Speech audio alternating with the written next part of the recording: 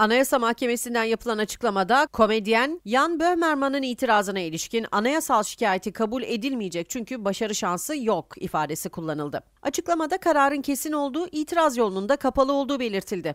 Anayasa Mahkemesi daha önce de Jan Böhmermann'ın Cumhurbaşkanı Erdoğan'a hakaret içeren şiirinin bazı bölümlerinin okunmasını yasaklayan Hamburg Eyalet Mahkemesi'nin kararına yapılan temyiz başvurusunu reddetmişti. Böhmermann 2019'da Yargıtay'a başvurmuş ancak buradan da sonuç alamayınca Anayasa Mahkemesi'ne müracaat etmişti.